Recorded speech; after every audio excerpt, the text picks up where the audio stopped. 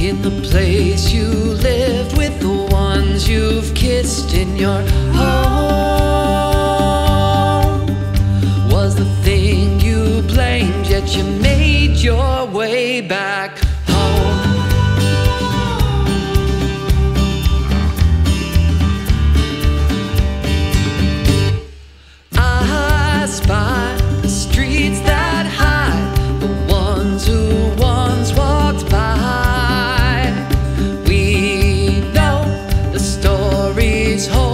the past of those unknown. Storefronts come and go, but the lost moments won't die.